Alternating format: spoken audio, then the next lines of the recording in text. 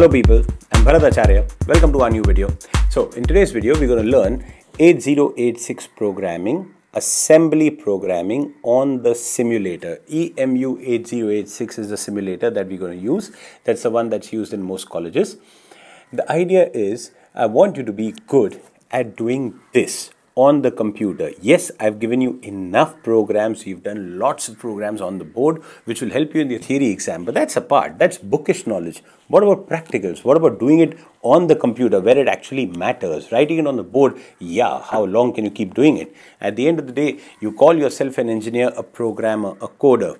If you know how to do this on the computer, how to accept inputs from the user, the role of INT21, how to separate out the ASCII values, how to produce an output, display it on the screen, and so on. So starting from now, we are doing these series of videos for the 8086 course where I'm going to show you assembly programming done on the simulator. Today's program, we're going to start with add two numbers. In very simple terms, first we'll do it without user inputs and outputs just to see how to run a program on the simulator with that, I'm also going to show you, of course, how to install the simulator. It's a free download available on Google. Just type EMU8086, you get it. Three clicks and that's it. It's installed. It's there in your computer. You can start writing programs. As always, with every video, you get a PDF. In that PDF will be all the programs that I'm going to do over here with you so that you can copy those programs from the PDF enter it on the screen. The first time you're doing it, you can directly copy and paste. There is no problem. There's no harm because you're doing it for the first time. Run the program, check out the values of the variables. You can check out variables, you can create variables, you can see them, how they work. You can single step. I'm going to show you all of that. Now, once you've done that and you have a working program, play with it enter different numbers, increase the size of variables, see how change the messages that you can display on the screen and so on. That's your first program.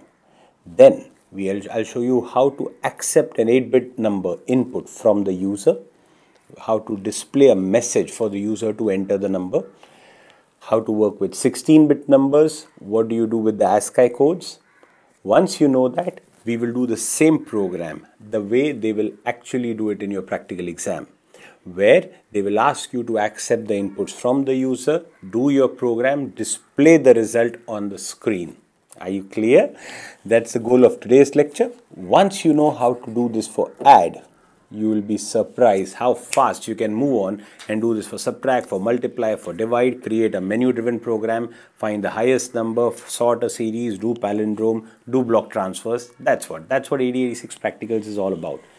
What do you think? Is doing programs only for those select few?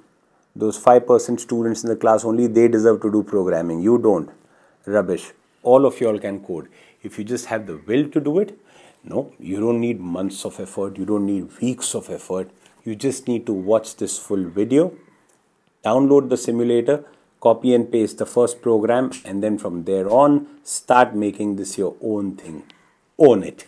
Okay all these videos are there on my website uh, bharatacharyaeducation.com as you know you've been if you've been a part of this channel you know how it is. I've put on some free videos for introduction of 8086 architecture and things like that. Beyond that if you want to learn the whole course come to my website. Watch all the videos in detail. Enjoy the pdfs enjoy the viva pdfs and there'll be many more videos coming up. I am soon immediately as soon as i finish this set of videos of assembly programs on the simulator.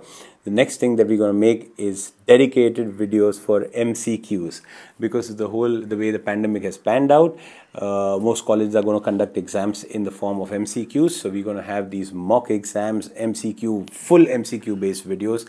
Of course, all of those will also be available to you on PDF so that you can practice at home. Lots of things going to come. Hope to see you there. Wish you all the best. Do well.